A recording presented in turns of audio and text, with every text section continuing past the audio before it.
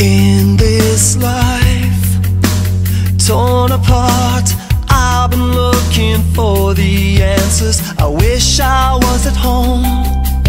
If I could end this all today.